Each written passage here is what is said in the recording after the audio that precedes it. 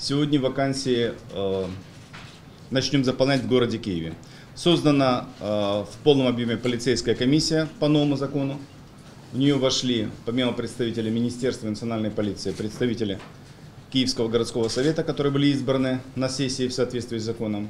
И сегодня мы полностью начинаем э, обновлять и формировать штат э, киевской полиции с учетом последних требований закона. В том числе мы сегодня объявляем конкурс на замещение вакантных должностей. Это самые чувствительные позиции. Это следователи и это э, участковые э, полицейские.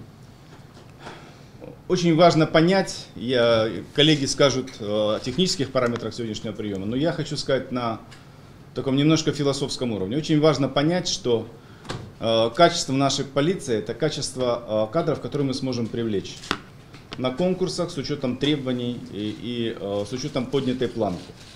И исходя из этого, э, мы все время совершенствуем и наши тесты, и наши подходы, и немного меняем алгоритмы с тем, чтобы получить максимальное хорошее качество наших офицеров, э, кандидаты, которые приходят к нам, чтобы они были базовые, очень хорошие показатели, и затем уровень подготовки их выводил на должный уровень.